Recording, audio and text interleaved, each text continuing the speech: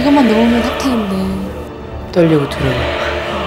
이 무대가 마지막이 될 수 있으니까 드디어 시작된 배틀 오디션 더 이상 물러설 곳이 없어요. 반증이 될 것 같습니다. 정말 와 충격적인 무대였던 것 같아요. 만장일치로 top ten 축하드립니다 가장 혹독한 라운드인 것 같아요. 왜 울어요? 겁나요?